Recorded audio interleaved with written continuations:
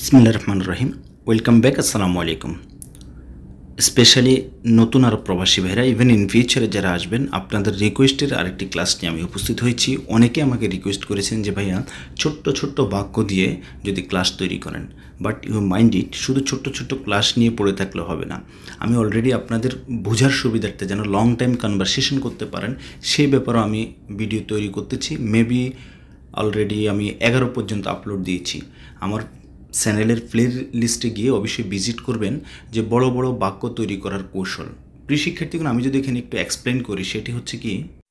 সেটি হচ্ছে প্রথমত ইউ মাইন্ড ইট আপনি জাস্ট আমার ইউটিউব বা আমার এই বইটি ক্রয় করে শুধু স্টাডি করলে হবে না। শুধু আপনি মনে মনে শিখতেছেন, কখনো অ্যাডভান্স হতে পারবেন না। আপনাকে কি করতে হবে? আপনার সাদিক বা আশেপাশে যে রুমমেট আছে, ওর সাথে কনভারসেশন করতে হবে। কাউকে যদি আপনি না পারেন, ভাই আপনি যখন এদিকে যান, সেদিকে যান, গোছলে যান টয়লেটে যান রেস্টে যান, নিজে নিজে বলতে থাকেন ওকে আর শুধু ছোট ছোট বাক্য নিয়ে থাকলে হবে না, কেননা আপনাকে হয়তো কেউ লং টাইম কোনো একটি সেন্টেন্স বলেছে, আপনাকে সেটার লিসেনিং পাওয়ার থাকতে হবে। আপনাকে আবার স্পিকিং পাওয়ার থাকতে হবে ওকে মানে শোনার পরে তো আপনি উত্তর দেবেন, না শুনলে কি বলবেন? আবার শোনার পরে আপনাকেও লং টাইম এক্সপ্লেন করতে হবে। তো প্লিজ আমার ওই গুরুত্বপূর্ণ কোর্সটি অবশ্যই দেখবেন, আমার চ্যানেলের প্লেলিস্টে গিয়ে বড় বড় বাক্য তৈরি করার কৌশল ওয়ান বাই ওয়ান স্টাডি করবেন, অনুসরণ করবেন। এই পর্যন্ত আমি এগারো পর্যন্ত আপলোড দিয়েছি ওকে পাইন তো আমরা দেরি না করে বরাবরের মতোই ক্লাসটিকে দুই ভাগে বিভক্ত করেছি। সর্বপ্রথমে আমি গুরুত্বপূর্ণ কিছু শব্দ আলোচনা করব। প্রথমে এখানে আমি যে শব্দটি লিখেছি, সেটি হচ্ছে, আমি আপনাকে বলতেছি, ভাই, কাপড় পরো, এই পরো হ্যাঁ কোম্পানি ড্রেস পরো। এই পরিধান করা মানে হচ্ছে অ্যালভেস সো উই হ্যাভ গট অ্যালভেস দ্যাট মিনস পরিধান করা। অ্যান্ড দেন আসির মানে কি? আমরা বলি না, জুস খাব, শরবত খাব। ইন দ্য সাউই শরবত ইন দ্য সাউই আসির। এই শরবত, জুস বুঝাতে আমরা আসির শব্দটি ব্যবহার করব। অত্যন্ত গুরুত্বপূর্ণ এই শব্দগুলো। কোনো দোকানে গিয়েছেন, আপনি যাওয়ার পরে বলবেন, ভাই, এ এবি আসির। তাই না? ওকে ফাইন আমি তাহলে আমরা শরবত মানে আছির এখন এই আছির তৈরি হয়েছে, এই আছিরটি আমরা খাব। বাট পানি জাতীয় কোনো জিনিস আমরা সবসময় খাব বলেই থাকি বাট সেক্ষেত্রে হবে পান করা। শরাব মানে পান করা ওকে পাইন এভি শরাব মাই পান, আমি আনা এভি শরাব মাই, আমি পানি পান করতে চাচ্ছি, পানি খেতে চাচ্ছি, এমনটাই আমি আপনাদেরকে বোঝাতে চাচ্ছি। প্রিয় শিক্ষার্থীগণ আফটার দ্যাট যে বাক্যটি, শব্দটি আমি লিখেছি, সেটি হচ্ছে হাল্লাক মানে সেলুন। ওয়াইন হাল্লাক, সেলুন কোথায়? আনা এবিরু হাল্লাক, ওকে? অবশ্যই এটা জানতে হবে আপনাকে। খাইয়াত মানে হচ্ছে টেইলার শপ।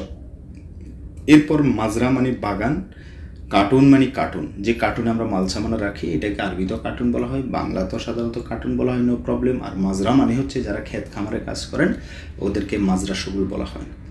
আশা করি বুঝতে পেরেছেন। এখন কেউই রিকোয়েস্ট করলাম আপনাদেরকে, কেউই ক্লাসটি স্কিপ না করে পুরো ক্লাস জুড়ে আমার সাথে থাকবেন।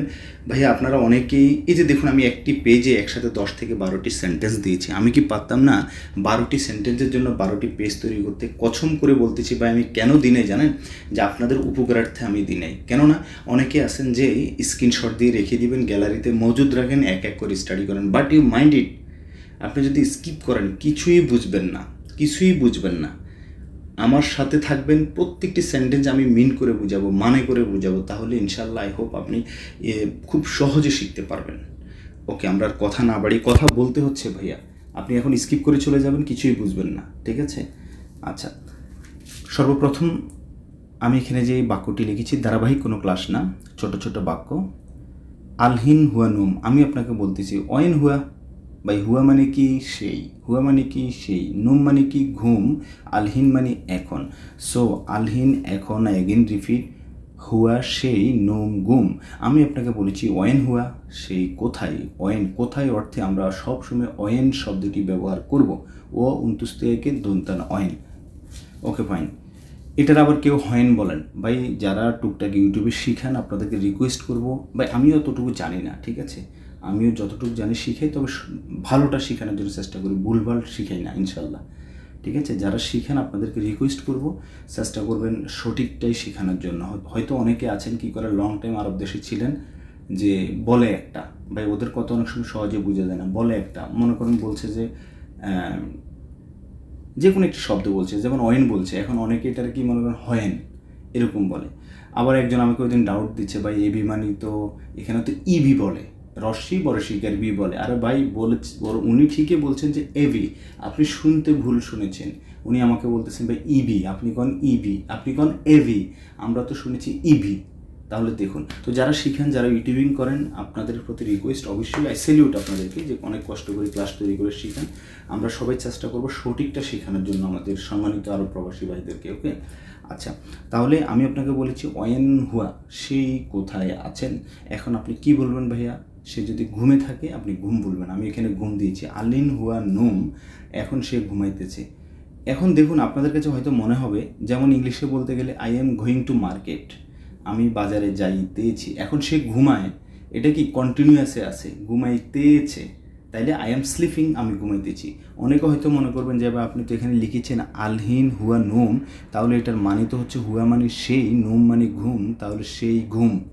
কেমনটা হচ্ছে না? না, ভাই, আপনি এখানে জাস্ট এত ডোন্ট ওয়ারি এভাবে কথা বলে আরবিতে একরকম, বাংলায় মিন করলে আরেক রকম, ইংলিশে মিন করলে আরেক রকম। আর যোগ যোগদের আরও প্রবাসী বাড়ি এইভাবে কথা বলে আসতেছেন লোকাল ল্যাঙ্গুয়েজ সিস্টেমে ওকে তো আলিন হুয়া নোম, আমি এখানে আলিন হুয়া নোম দিয়েছি।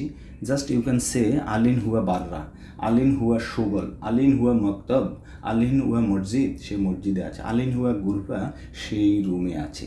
তাহলে বলুন স্কিপ কি আর করবেন? টেনে টেনে দেখবেন, আপনার কাছে আমার প্রশ্ন রইল okay so please don't skip তাহলে আমি একটি সেন্টেন্স দিয়ে কতগুলো বুঝিয়েছি? হয়তো মনে করুন, আরে আমি সময় পাইছি মোবাইলে একটা মুভি দেখি, এই দেখি ফেসবুকে ঢুকি, একটা ভিডিও দেখি নিউজ দেখি স্ক্রিনশট দিয়ে রেখেছি, আরে ভাই আমি তো পরে দেখতে পারব। তাহলে নিজের পায়ে নিজে কুঠার মারবেন, এটা মাথায় রাখবেন। অনেক কষ্ট করে ভিডিও তৈরি করি ভাই।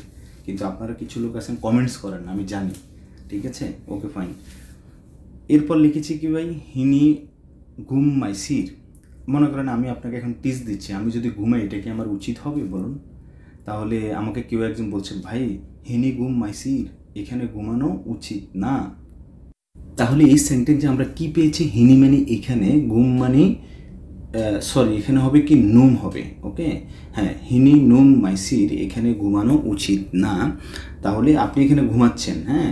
আমি বলতেছি যে, হিনি, নুম, মাইসির, এখানে ঘুমানো উচিত না, ঘুমানো উচিত না। মাইসির মানে উচিত না। ওকে এরপর নাম্বার থ্রি কি লিখেছি? হিনি খাল্লি কুল্লু সাই এখানে সব কিছু রাখো। হিনি মানে এখানে খাল্লি মানে রাখা, কুল্লু মানে সব কিছু সাই মানে কুল্লু মানে সব সাই মানে কিছু। তাহলে কুল্লু সাই সব কিছু আমরা পেয়েছি কি? কুল্লু সাই সব কিছু কুল্লু, যেমন আবার বলতে পারি, কুল্লু সাই মজবুত সব কিছু ঠিক আছে? কুল্লু সাই জেন, কুল্লু সাই ওকে, কুল্লু সাই কয়েস, কুল্লু, নফর কয়েস। ওকে তাহলে খাল্লি মানে রাখার ক্ষেত্রে, ওকে? আর হিনি মানে এখানে, হিনি খাল্লি এখানে রাখো। আমি জাস্ট কুল্লু সাই দিয়েছি ভাই, আপনি অন্যটা দিতে পারেন। হিনি খাল্লি জাওয়াল, এখানে মোবাইলটি রাখো। হিনি খাল্লি জলিয়া জলিয়া মানে কার্পেট কার্পেট। বগিয়া জ লরসিকাল্লি উনত্রিশ থেকে জলিয়া মানে কার্পেট। হিনি খাল্লি জলিয়া, এখানে কার্পেট রাখো। হিনি খাল্লি আমুদ, এখানে খুঁটিটি রাখো। আমুদ মানে খুঁটি।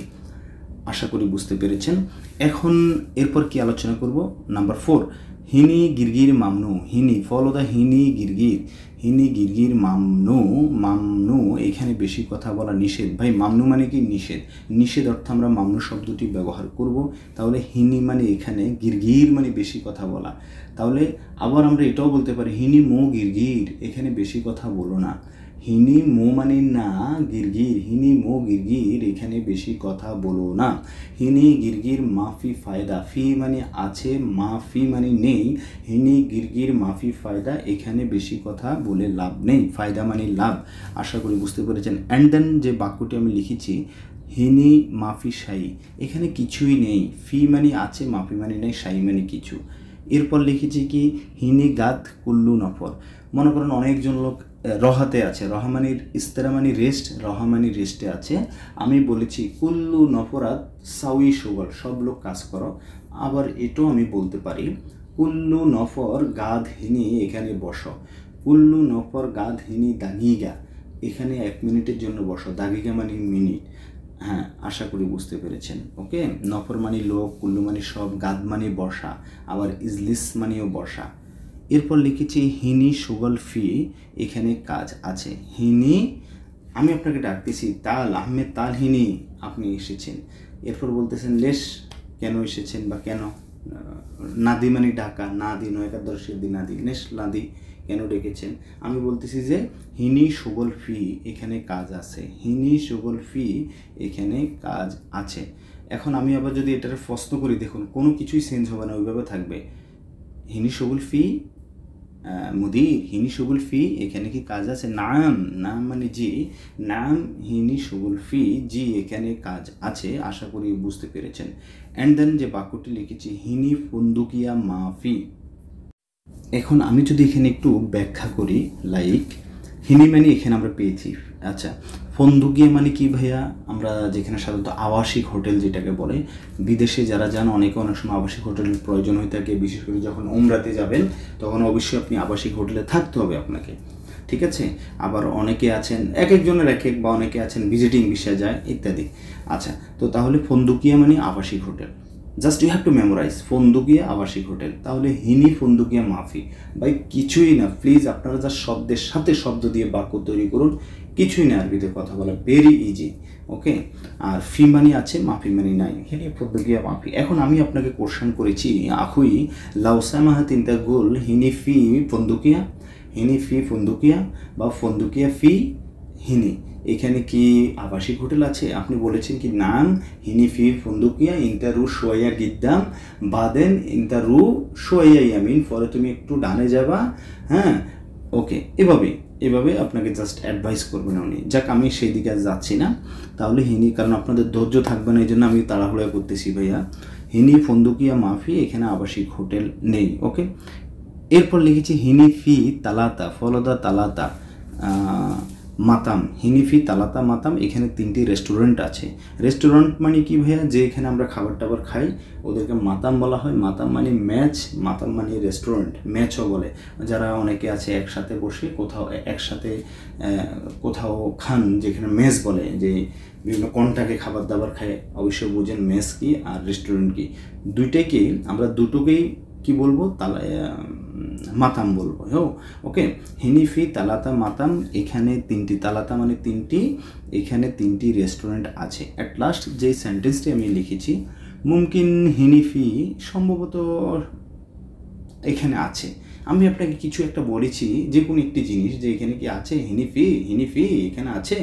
আপনি বলতেছেন, মুমকিন মুমকিন হিনিফি তাহলে সম্ভবত অর্থে আমরা ইউজ করব মুমকিন মানে সম্ভবত প্রিয় শিক্ষার্থীগণ এখনও যারা আমার বইটি ক্রয় করেন নাই, অবশ্যই আমার সাথে কন্ট্যাক্ট করে আমার বইটি নেবেন। বিশ্বাস করুন ভাই, অনেক অনেক অনেক অনেক হেল্পফুল একটি বই।